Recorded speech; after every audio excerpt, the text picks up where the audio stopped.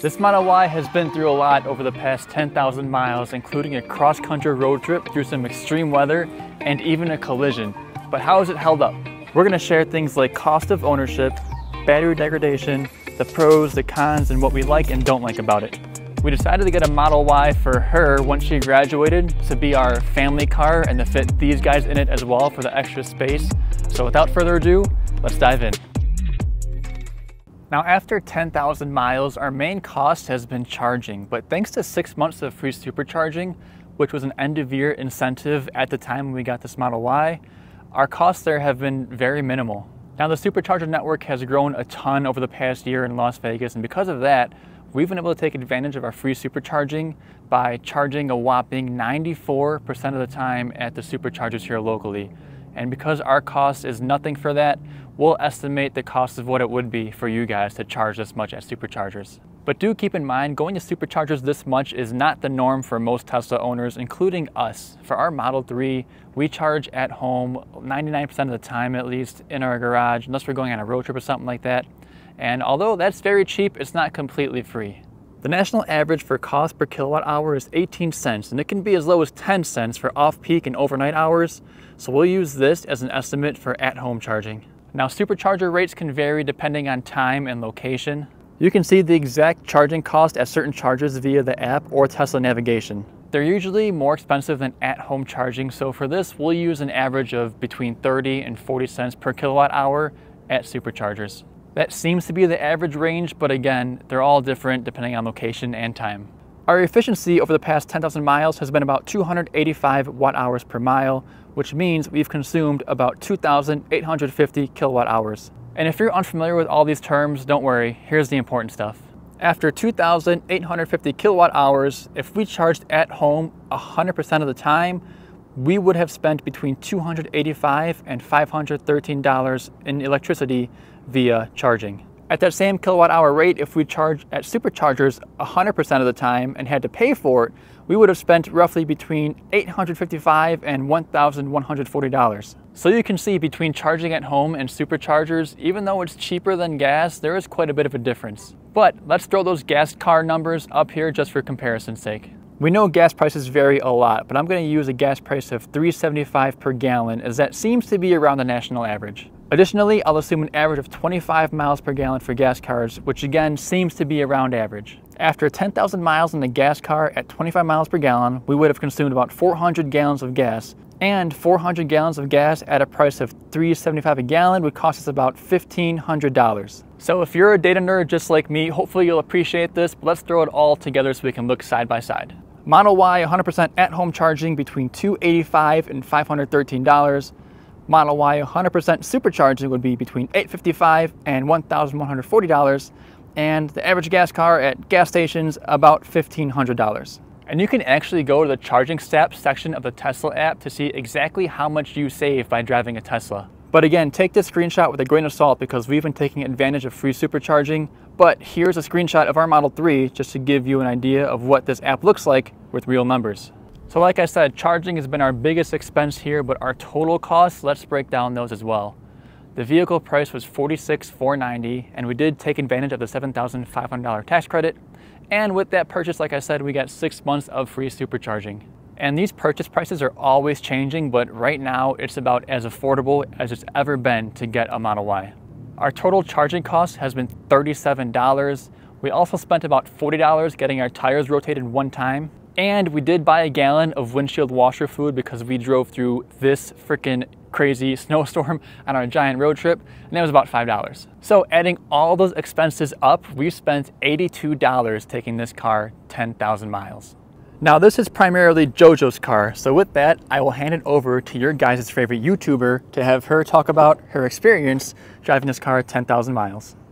So on my experience, you know, one thing I like about it is like getting in the car uh, it's easy. It's just like you, I can see everything from the dashboard and you know uh, in front of me. I'm only 5'3", so I feel like having an SUV is really important for me instead of a sedan. So this is a really good thing for my owner's perspective.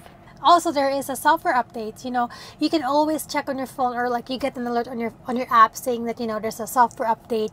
And the good thing about it, it's free and You can do it anytime you want as long as your car is connected to the Wi-Fi. For an example, an upgrade that didn't come with the car when we when we got it. So and now this is recent after we upgraded, we updated. So it's gonna be when you turn when you put the car in reverse, you can see the line here and also on the screen. Like I said, it wasn't available when we got the car and now it is available. Another example is you can customize your lock sound. So when you just go to your to your app on your phone, I mean on your on your Tesla, just click the toy box, lock sound, and you can just click from here. Or you can download it through your USB. How about when it comes to like ride quality? Like how is the suspension? How is the noise when you're driving on the highway and the city streets, all that stuff?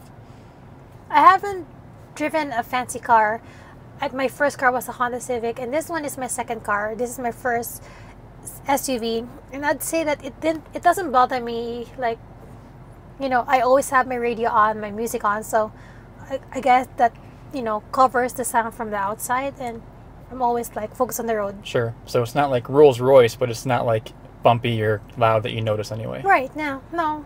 It just depends on like here in Vegas, it's like the roads is always bumpy, so it's like I feel like I'm so used to it.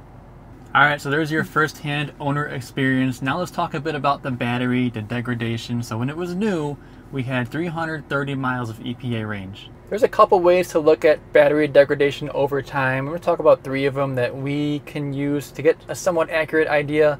The first being third-party apps like TeslaLab. Not a recommendation, not a sponsor, but they do some stuff where they look at the battery charging data and extrapolate some data from that to predict your full mileage based on a full battery. And according to them, we have 317 miles of full range at 100% battery after 10,000 miles. A second way you can look at your battery range, if you look at the screen here, if you tap on the percent, you can just switch to miles there. So if you charge to 100%, you can do this and see how much that you have. I don't know how accurate that is. If you want to calculate that, it might be around 317, but that's another option for you as well. And third, the most accurate way you can do it is probably going to service mode on your Tesla here. I wouldn't recommend this. It runs a battery health test, which drains the battery completely to empty and then charges it completely to full. So you are getting a pretty accurate estimation there, but just going completely empty and completely full isn't the best for your battery over time. Also keep in mind, Tesla batteries tend to degrade the most after the first 10 to 20,000 miles of use. So after about 20,000 miles, you'll see a pretty good plateau and degradation, so your rate of degradation won't be nearly as much the longer that you drive it.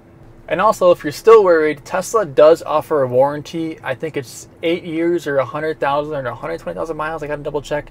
But a warranty to where if your battery by that point is less than 70% of what it was when it was brand new, they'll replace it for free. This is very rare and far and few between, but there is a warranty if that does happen. Now let's talk about space. The space in this car is really awesome and that's one of the biggest reasons why you should get a Model Y. Now let's, let's go outside and let me show you how it looks. On the exterior of the Model Y, it is similarly comparable to RAV4. However, on the interior, it has a lot of space and since this is a Tesla, it doesn't have any engines, so we have more space. We put our stuff here, whatever, our gym outfit, our seat covers and all that after we go to the gym, so that's really perfect for us. Okay, now let me show you the back seat. Okay, lots of space. Very clean interior. You can put the chair down. Both of them you can. Let me show you the back, the, the trunk. Very spacious and you have more compartments on side corners and when you bought the car it comes with this one you, if you don't want it you can take it off you can just like pick this up and just slide it over that's easy. And you have more space here. You can put your freezer or like luggages, whatever, whatever works for you. As you can see, there's a lot of space here. You can put the chair down like this and you can camp from here. Me and Carmen camped here one time when we were on our way to Chicago. Just so you can see, this is the legroom. I'm 5'3", and I have a lot of space. I'm also 5'3", so you can see, no, I'm 6 feet tall. And I have a couple inches here as well, and it's pretty comfortable. But also, while I'm back here, let's take a look at the white seats, especially after 10,000 miles. These haven't been used too much, but even the front seats will show you, they're super, super clean. They hold up really, really well. 10,000 miles isn't a ton, not like 100,000 miles, but so far they've been great and no stains, anything like that. We love these. They look so nice and so clean. Still look brand new after 10,000 miles. We've used two products on these seats so far. The first being a leather shield, which we highly recommend. Wipe it on once every year or so, adds an extra layer of protection. And the second being a chemical guys leather cleaner, we just spray it on every once in a while when we clean the car. And as you can see, it works really great because our seats are shiny white and they look brand new. Now back to the back seat. We don't use these much, so we're not worried about it, but I have seen videos, people with Tesla's white interiors for a long time, where over time, the seatbelt rubbing against this part of the leather here will leave a mark or get some discoloration along this little seam here, which seems to be one of the things that could damage these white seats the most. So I seen a product. I can't recommend it. We don't have it obviously because we don't really use the back seat too much. That will, the product is like a little seatbelt raiser thing where it will keep the seatbelt up here. So when you pull it up and down, it won't touch the seat at all. I'll link it down below, but again, can't recommend it. We don't use it. But if you do use the back seats and you're worried about that, I'll leave it down below for you. Next, I want to talk about supercharging because when you buy a Model Y or any Tesla, you're buying into the supercharger network. And no better way to do that than to go to a supercharger. So let's go ahead and head on to charge. Now the supercharger network, it just works. And you would expect that, but this isn't the case with other EVs. We've taken this Model Y on one road trip, about 4,000 miles to and from Chicago, no issues at all. We've had our Model 3, like I said, for about 50,000 miles taken on three cross-country road trips and have never had an issue where we were stranded or had any major issues at the superchargers. So if you're gonna get a Model Y and are worried about the charging reliability, you'll see some news on other EVs having issues at like Electrify America and ChargePoint and stuff like that. But for the most part, Tesla superchargers are flawless. When I say most part, I mean above 99% of the time they have a uptime, I think that's what it's called. They just work. But I will say being here in Las Vegas, the one thing that does affect the chargers, or at least the charging speed, is the heat here. If it's like 115 degrees and the handle gets too hot, you will get a slower charging speed, but it's still faster than you would get at home or at other level two chargers, but the heat does slow it down.